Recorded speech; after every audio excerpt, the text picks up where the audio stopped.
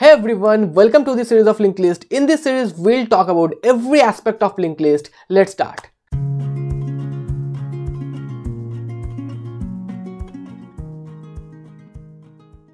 In this video, we'll talk about what is linked list, how we can implement linked list and what are the terms of linked list, like what are the architecture of linked list. Let's start. So as you can see in my screen, we have one data portion and we have one next address portion. So what is this data and what is this next address? So at first talk about that linked list is a which type of data structure. Linked list is a linear data structure. As we know that array is also a linear data structure but linked list has its own properties. So linked list is a per node memory allocation. At the end of the video, I'll talk about this point again, then it will be more clear to you. But let me go to the point at first. Linked list is a per node memory allocation. In array, what you have to do, you have to allocate the block of the memory at one time. But in linked list, we will allocate the memory dynamically and we'll allocate the memory node wise so we allocate that much of memory that we need so there is no wastage of memory let's say that we need 10 blocks we'll keep on adding 10 blocks up to 10 so this is how we can allocate the memory per node. So till now i haven't talked about what is node. We'll also talk about node in this video. But you just know that linked list is a per node memory allocation. And every node we have two parts. One is data and another one is address. So whenever we are trying to declare a node within a linked list it has two part. One is data and another one is address. So this address portion, this next address portion will store the address for the next node. Now, the most important portion of the linked list is your head pointer. You have to access every node using the head pointer. So what is head pointer? I'll talk about that in the next slide. And the last node of the linked list. So the next address of the last node of the linked list will be null. That's a termination point for the linked list. But it's not applicable for the circular linked list or doubly linked list, but it's applicable for the singly and doubly linked list. So the last address of the node will be null. So this is one of the important portion that you have to remember that the last node address will be null. Like this portion will be null and operations are easier in linked list so in array when you are trying to insert anything within the array what you have to do you have to make a shifting right? But in linked list that process is much more easier than your array so the operations are easier and efficient and it's a non-contiguous memory allocation. In array, what happened? Let's say that the first address of the array is 1000, the next address must be 1022 or 1024. Let's say that the next address will be 1024, then the next address will be 1028. This is how the memory allocation goes in array. But in linked list, that is non-contiguous. You can collab or merge two linked list, but you cannot collab or merge to array because that's a static memory you cannot expand that right? So linked list is a non-contiguous memory allocation. Now the last but not the least point that is linked list executes in runtime. You will allocate the node that you need. So whenever you are trying to allocate the memory this memory it will be allocated in the runtime. You don't need to define an array in the compile time. So whenever you are declaring any nodes it will be created in the runtime now we'll see that what is the node in a linked list. So as I said that it has two part. One is data part. This one is data part and another one is next address part. So how we can create this data type? We need a structure for this. So let's say that we'll declare a structure. Within structure, it has two portion. One is data and another one is address. And this the type of this address will be the structure itself. So it will store the address of a structured block. So this is how we can define i'm not talking about the code we'll talk about the code in the next video. But in this video you have to clarify your concept. Let's clear your concept at first.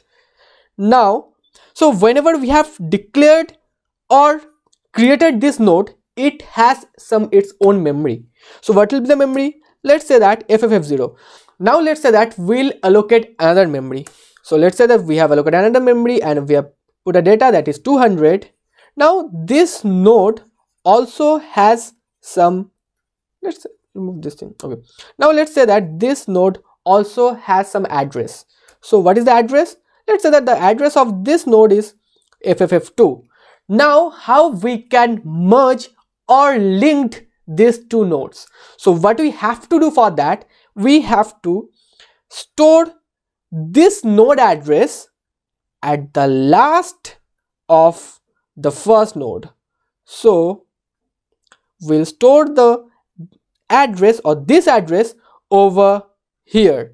So this is how we can link two nodes. So now we can say that this node let me remove all these things this node is pointing to this node this is how we can link two nodes. And if we allocate a memory then we can allocate a node here it will point here. Until we are inserting any node the last address of the node will be null. So why the last address will be null? For the termination point. We need a termination point right? Otherwise it will go on the infinite loop. Now let's talk about the head pointer. So the first address of the node is FFF0 right now we have to store this FFF0 somewhere that we can access this block so we have to store, let's say that head, we have a pointer that is let's say head h.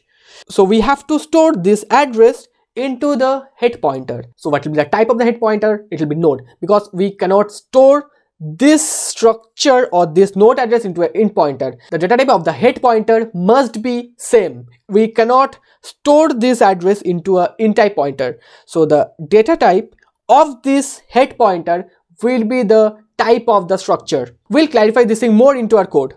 Now, so you can tell me one thing that why we cannot store this address over here. We can store this address over here, but in linked list, you cannot go back, right? If you start traversing from here, how can you access this portion? So that's the conflict. So we have to store the address of the first node here. So during the accessing, we'll at first we'll go to this node and in this node we'll get this portion that is FFF2 then we'll start traversing this node and it will go on like this. So I have cleared my screen.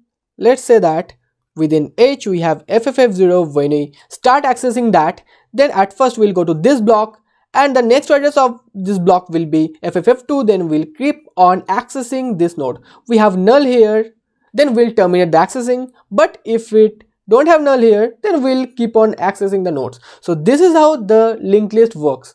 So as of now we have discussed that what is the significance of head node and how we can link two or multiple nodes. So now we'll see a diagram that uh, yeah. So the first one is array. So what is the drawback of array? That we have to allocate let's say that arr 100 so we have to allocate the static number of blocks. So if we allocate this array let's say that this is the array of 8 we have written 8 here. We cannot expand this array.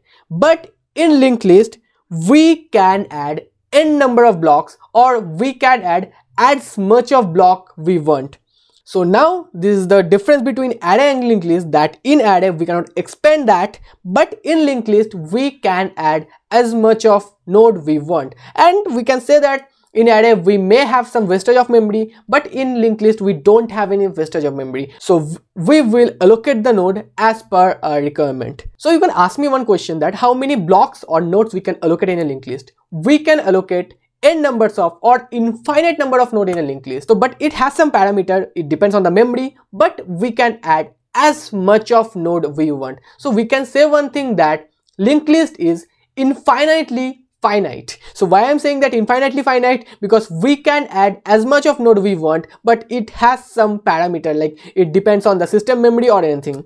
So this is what the benefit of using linked list over array. We can add as much of node we want. So let me go to the first slide again. Yeah, so in this slide, the first point was linked list is a linear data structure that is we have discussed and it's a per node memory allocation that we have also discussed that how we can allocate per node memory in a linked list for every node for inserting every node we have to allocate a memory. It has two part. One is data and address. It has a head pointer. What is the significance of head pointer? I have already discussed. Last node address will be null. What is the last node address? That that's a termination point. Uh, operations are easier and efficient. So this portion I will talk about briefly in the insertion portion. Linked list is a non-contiguous memory allocation and it executes in the runtime. So I think these portions are cleared. I think the basic concepts of linked list are clear to you. If you have any doubt, just write in the comment section. In the next video, we'll see that how we can code a linked list or how we can create our first block in a linked list. See you in the next video.